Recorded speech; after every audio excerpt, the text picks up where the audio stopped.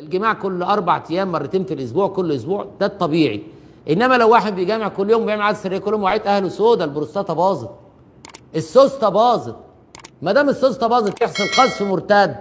وما دام السوسته باظت خلاص لقد نفد رصيدكم. شكرا. يجي يتجوز ما يلاقيش حيوانات منوية. لقد نفد رصيدكم. هل في شباب رصيدها خلص؟ ولا لسه رصيد شغال؟ ما هو في شباب يعني مش عارف إن هو عمره محدود.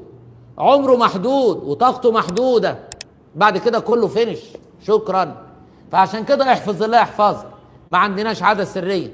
ما عندناش بيجي لي الناس العيادة شباب والله.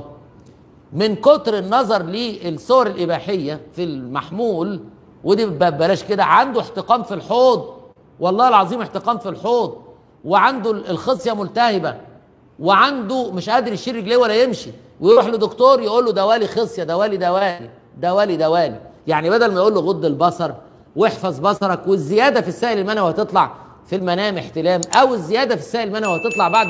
بعد البول بعد كل بول هتلاقي نقطتين لزجتين يبقى الزيادة في السائل المنوي هتخرج هتخرج.